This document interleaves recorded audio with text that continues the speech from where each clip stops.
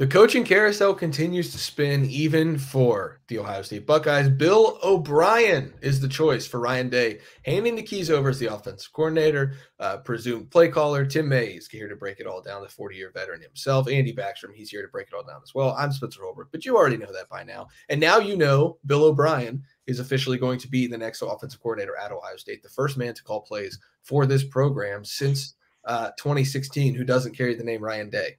Uh, massive shift for Ohio State. Tim, first thoughts as uh, Bill O'Brien's getting ready to become the next offensive coordinator for the Buckeyes. Well, of course, this was popping late last night, and uh, there were pros and there were cons about it. You know, basically, I'm talking about on social media. yeah, he's had a couple of years where you kind of go, well, this I don't know about this guy, but he's had a couple of years where you go, I know about this guy. Here, here's here's the best way of summing up Bill O'Brien is I thought he did a miracle job when he took over at Penn State for Joe Paterno and became became the head coach uh, in in that strangest of times. Uh, you know, losing two straight uh, at the end of your season is a tough time. Uh, having what happened at Penn State is a strange time, and uh, he took he picked it up and ran with it. That's the one thing. And uh, they had a hell of a team his second year there, 2012, I think it was. but the other thing is, fellas, is the is the coach is considered the goat in uh, in in NFL coaching. Uh, Bill Belichick hired this guy twice and promoted him up the ranks uh, the first time, and then went back to him this past year. You know, Bill O'Brien wasn't the problem with the New England Patriots; it was the New England Patriots. And then the the guy who's considered the goat of of college football, the greatest of all time, Nick Saban hired him uh, as his his offensive coordinator, play caller, uh, etc., for two years. Uh, that order that's about as ringing an endorsement as you can have, I think, on on your resume as a as a, a college football coach. So uh, I think this guy is the is the real deal. Has he made some blunders play calling wise uh, in the past a few times? Absolutely, but you know, so have a lot of people, right? Uh, bottom line is he's an effective coach. Uh, like I've always told people, and I tweeted a, a guy on the Ohio State staff, uh, tweeted, texted a guy on the Ohio State staff last night. Uh, the main thing you have to get used to with Bill O'Brien, based on that hard knocks he did, they did with the Houston Texans way back when, was the F word is every other word, it seems like, with that guy. So if that makes you squeamish, you know, step back. Uh, but uh, that's my take on him. I think he's a proven top quality head coach who's done it in the NFL and in college football. And uh, you know, as the old saying goes, uh, this is this is about as good as you can get. You know, with, without hiring a guy who's just a big gimmick dude, and uh, and he will demand things from the offensive line room just like he will demand things from the quarterback. Where you know they haven't quite announced uh, the total shakeup yet of the. We'll get there. We'll get there. Okay. Maybe okay. well, I guess Spencer's going to announce it. No, Bottom no. line is he's going to have a big role with the quarterbacks. You know that for a fact. Andy? Yeah, I already wrote about this on LettermenRow.com, but it keeps bringing me back to this one moment before the Cotton Bowl. The day before, we had Eli Drinkwitz and Ryan Day speaking together to the media there in Arlington, and Eli Drinkwitz was asked about giving up play calling before the 2023 season. And he went on for about two minutes talking about how he need to leave his ego at the door. He need to embrace the head coaching role, empower other people, let them do their jobs, and connect with the coaches better, connect with the players better. And look, Missouri ends up having its first New Year's Six bowl season, winning that bowl against Ohio State, and having its first 11 win season in nine years. Meanwhile, Ohio State and that offense that Ryan Day's had his fingerprints on since 2017 kind of hits rock bottom in Arlington, scoring three points in that bowl game. And it just felt like you know, Ryan Day's been mulling over this move for over a year now. It was before the Georgia game, the CFP Peach Bowl semifinal, that he was already thinking about giving up play calling. Well, now it just felt overdue that this was going to happen. He's been thinking about it, but this was the time in which the transition feels right with a veteran voice. Kevin Wilson not being there was really noticeable this year with the offense. I felt like Ryan Day missed that veteran voice in the booth. And Brian Hartline, as great of a recruiter as he is, and as great of a wide receivers coach as he is, he had no play calling experience and he had no offensive coordinator experience. I think that's something that this Ohio State team needs and Ryan Day needs if he's going to take the CEO approach. Yeah, I, I spoke about that uh, uh, many times. I've spoken about that many times on radio and TV and with you guys. Is I was watching Ryan Day while Eli Drinkwitz was saying what he was saying. The epiphany that Eli Drinkwitz had uh, middle of this season that changed everything really from Missouri. And uh, well, changed a lot of things for Missouri. Let's put it that way. And uh, like you said, um, Andy, uh, the pieces weren't really in place for Ryan to totally step away from it this past year, as we well know, because he elevated uh, Brian Hartline, who hadn't been an offensive coordinator. Um, and then the idea that not only was he going to be offensive coordinator, but called plays for the first time. The more you thought about it, the more sort of like uh, pie in the sky that seemed for a first year dude. Uh, I'm talking about uh, with Brian Hartline but but without a doubt, he's brought on a grizzled veteran now who he not only maybe can trust in the play calling area and in the possible offensive coordinator area, but uh, a guy that now they can put their heads together. And, you know, now Ryan Day becomes that senior member of the staff who Bill O'Brien can lean on or who Bill O'Brien will be obliged to lean on, if you follow my drift, because now I am the head coach, you know. It's going to be interesting.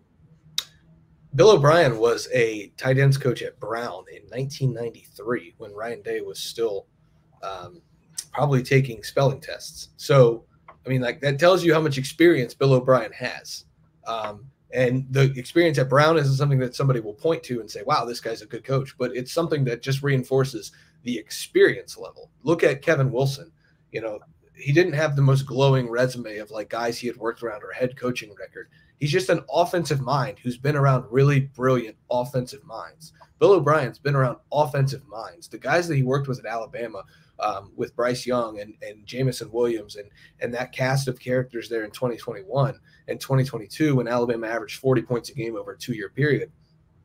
That was Bill O'Brien's offense, but also Bill O'Brien was working with good offensive minds. He was working with the greatest college football coach of all time. There was a sponge to be had there you know, you can sponge some lessons off of Nick Saban as an offensive guy, even if if he's a defensive guy. You know, Bill Belichick, another one of the greatest uh, defensive minds in the history of this sport. A head coach for 20 years, won uh, six Super Bowls, is probably going to go do a little bit of damage with a good roster in Atlanta if he gets hired there. Trusted Bill O'Brien with his offense not once but twice. The, the greatest offense in NFL history, 2007 Patriots, that was orchestrated in part by Bill O'Brien. Like this is a guy who understands offensive football. Nobody, nobody thinks Bill O'Brien is perfect. And I don't think anybody should. I don't even think Ryan Day should. But I was told this was a, a home run hire by somebody on the Ohio State staff. That's not because they think he's going to come in and they're going to score 50 points a game with the most creative play calling you'll ever see. It's because Ryan Day knows he's a great offensive mind. And Brian Hartline knows that he's pretty smart when it comes to offense. And Justin Frye has really good run concepts. And then you add somebody who's been doing this for 30 years into that room, and you get a, an infusion of new ideas, an infusion of a new voice, a new say in what goes on in that offensive meeting room, a new play caller that has different ideas on down and distance and things to do. Like, I think this is the right move for Ohio State. Do I think it's the sexiest hire? No. They could have thrown two and a half million dollars to Buffalo at Joe Brady or went and got Alex Van Pelt, who just got fired by the Browns, but I think is a good offensive mind, or went and got Kellen Moore from from Los Angeles Chargers. But those are all really young guys. And I think at this moment in time, Ryan Day needs a veteran, like you said, Tim, the word grizzled, somebody who's been, you know, in the trenches for the last 30 years and knows offensive football. And I think that's exactly what they found here uh, with BOB. Yeah he's a guy who's not afraid to tell you, you know, how the whistle works. Uh, uh, I, I, think it's going to help the offensive line as much as as much as it is anything because some things aren't going to be uh, uh accepted. I think is the best way of putting it. Tolerate is not the correct term. Accepted, uh, but you know that was an offensive line that was in transition last year anyway. It was always going to be uh, a work in progress as most offensive lines are. I mean, I know uh, I'm, I'm, playing the same fiddle here, but the but the bottom line is he's he is that kind of coach. And the main thing that stands out to me about him, uh, and you just touched on it, is he is that Kevin Wilson like dude because he's uh, and you know he's been a head coach. in college football and in the NFL. In the NFL, and yeah, uh, things didn't work out totally for with, the Houston Texans, but they were better with him for a while than they had been. Let's put it that way. And uh, uh, you know, he hired Mike Vrabel away from Ohio State way back in uh, what the winter of 2014 and stuff. And uh, so there are all kinds of things about him that people have been attracted to.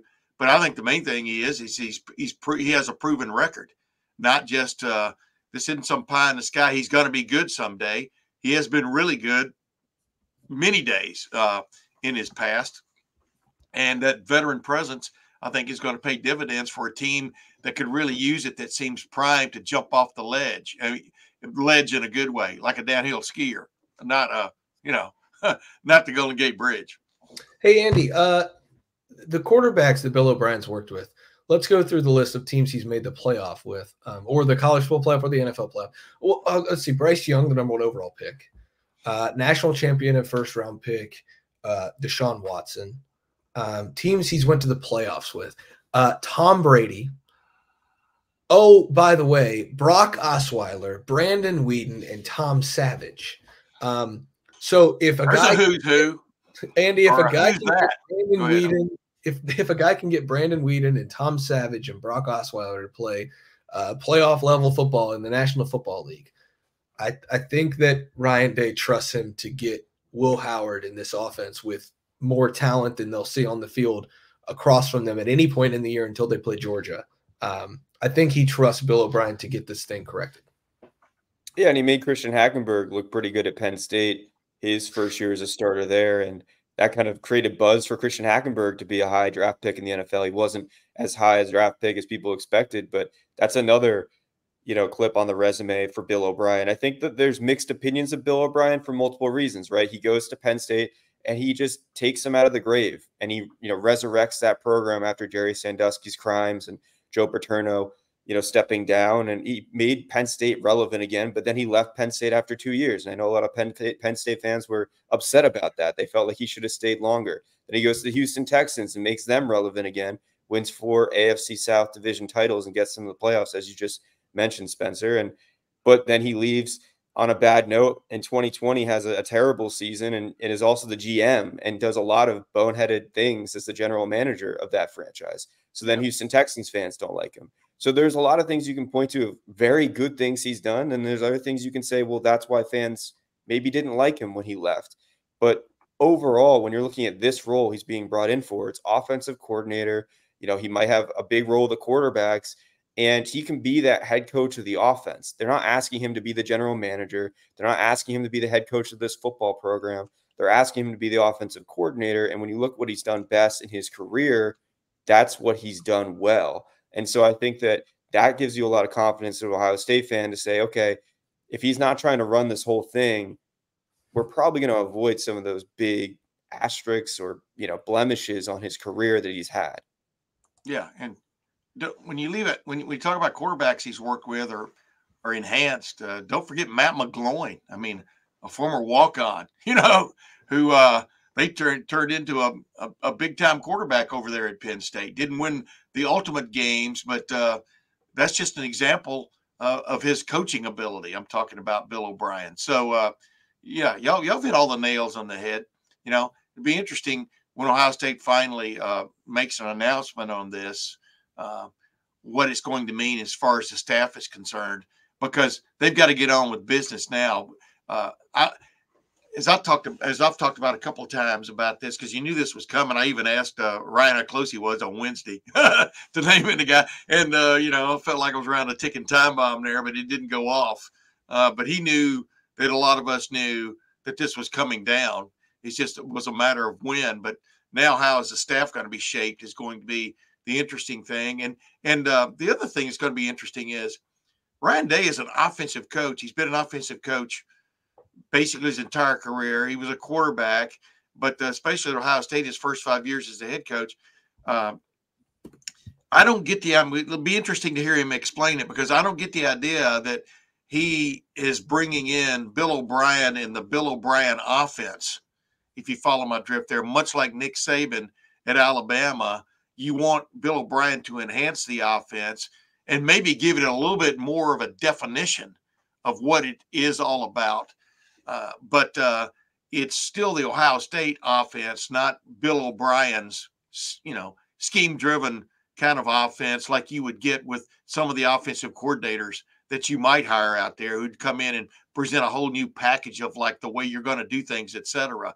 This seems more like a keep on keeping on, but fix what's wrong. If you follow my drift, and uh, that's where I think Bill O'Brien will really be valuable to wrap things up for me, I, you know, I'll give you guys final word, but to wrap things up for me, my, my biggest thing here is a lot of people are pointing at the stints with the Patriots and, you know, was the offense really good or did they just have Tom Brady? 2023, the offense wasn't good. Well, guys, I, I don't want to talk down to people. And I think that's the, the thing that I, I struggle with the most. It, but hey, no, not with me, you don't. Go ahead now. Yeah, I, I, I would never talk down to the 40 year veteran Tim May. Uh, but like, the NFL offenses and college football offenses are so different, and these guys know that. Like the hashes are different. The way you call plays is different. The way you do things is different. So all of that experience he has with the Patriots, you can cite that. But the offensive output and the offenses with the Patriots, I almost put them to the side. What I look at is two years at Alabama when they they scored 40 points a game. You know why? Because Bill O'Brien's a smart offensive mind who knows how to manipulate hashes and get people open. And like as a college football play caller in today's college football, that's really all you need to do. Like it sounds simple and it's easier said than done, but like manipulate the hashes, get people open. Like and wait and one more thing. This is this is important. This is why Will Howard's transfer is important. Uh, Bryce Young could also take a bad call and turn it into a great play, and uh, that's what you have to have. I mean, the ingredients have kind of come together here, and you have to have a coach who uh, works that pardon expression, works that into his system is that it can't be just my way or the highway. You've got to give a quarterback, like with Matt McGloin, you've got to give him the freedom to to be the quarterback, not just to be a part of a machine that's supposed to do this, and if it doesn't, we'll come back and fix it. That's what stands out to me about uh, Bill O'Brien's offenses uh, through the years is there is that wiggle room for the quarterback, and you have to have that. Ryan Day knows that. I mean, they, you know, the quarterback they brought in here uh, is that kind of quarterback. He's not Kyle McCord, and I think this is a going to be a very nice marriage, for one of another term, uh, of of, of this offseason of what's going on with this Ohio State football team, especially at the quarterback position and at the offensive coordinator position.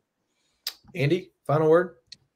Ryan Day's pulling out all the stops. I mean, this offense is his baby. He's had it in his hands since 2017 when he came here and arrived on staff.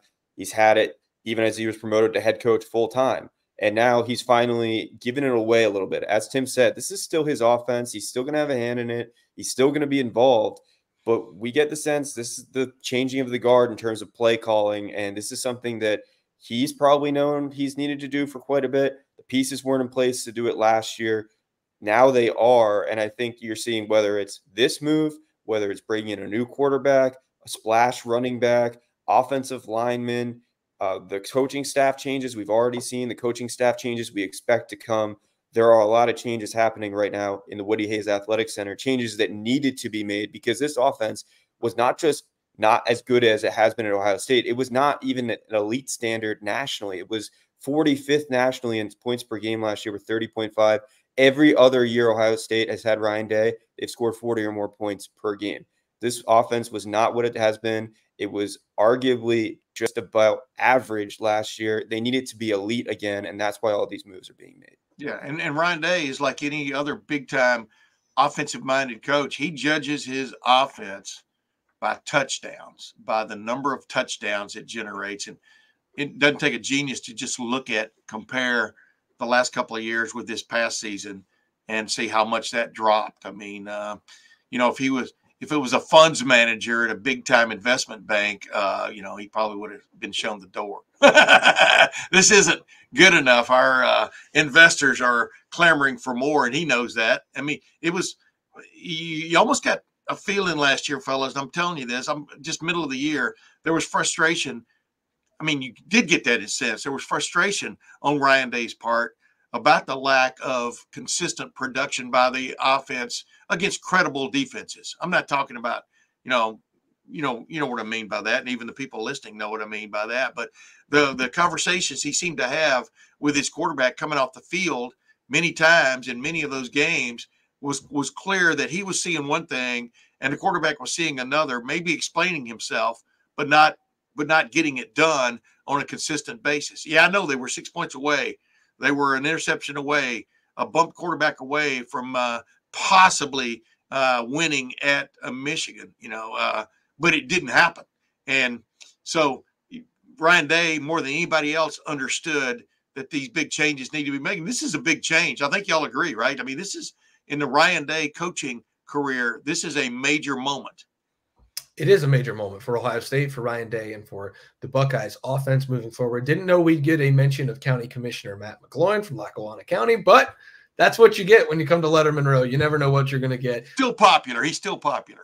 Ohio State now has Bill O'Brien as its offense coordinator to help Ryan Day out with that offense, massage the issues that, that happened last year, and see if these Buckeyes can win a national championship. Lettermen Row will have it covered every step of the way, just as we did here with Bill O'Brien as the new offensive coordinator at Ohio State. Tim May, the 40 year veteran, he's here to break it down. Andy Backstrom, he's right there to break it down as well. Me, Spencer Holbrook, Alex Gleitman, and Matt Parker on the recruiting side. The Buckeyes getting ready to host a massive recruiting weekend uh, yeah. in the Woody Hayes Athletic Center. Again, Lettermen Row have it all covered. $1 for your first month. We'll see you guys over there at lettermenrow.com.